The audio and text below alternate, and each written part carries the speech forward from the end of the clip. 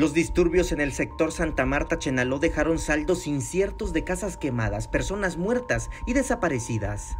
Ahí, a finales de septiembre de 2022, se enfrentaron grupos por la posesión de 22 hectáreas. Hoy hay personas desaparecidas y sus familias están en la incertidumbre. Las personas desplazadas arribaron a Tuxtla Gutiérrez y realizaron una caminata para exigir que cese la violencia, pero también piden regresar a casa y algunas, como Margarita, que pide encontrar a su hija y a su familia. Pero el sector Santa Marta se quedó ahí. ¿Con quién se quedó? Con su esposa.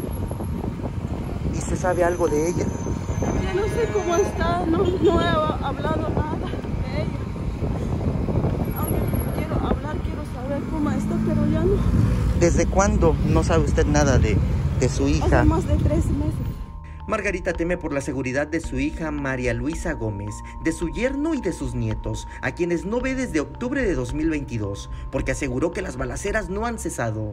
Sí, hay muchas balaceras, muchas balaceras. Y hasta ahora nunca ha, ha- nunca ha dejado de balacear. Y no son los únicos desaparecidos. Alerta Chiapas le informó que el 5 de diciembre, las y los desplazados lanzaron un llamado de auxilio para dar con el paradero de cinco que no han sido localizados, luego de los disturbios de finales de septiembre de 2022. Hasta ahora, de ellos no se sabe nada.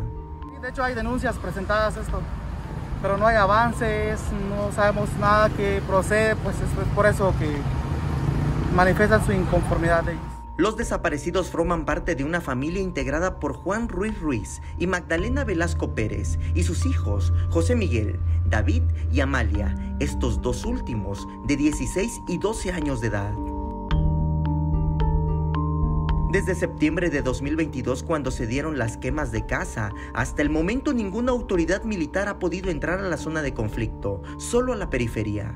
Han entrado al puro al centro Santa Marta, sector Santa Marta, que es el, es el centro Santa Marta, pero no han entrado lo que es eh, en, en otros lugares, lo que es Atzamiloyo, Ventana, este, Bayunchi, en otros parajes pues que no pueden entrar.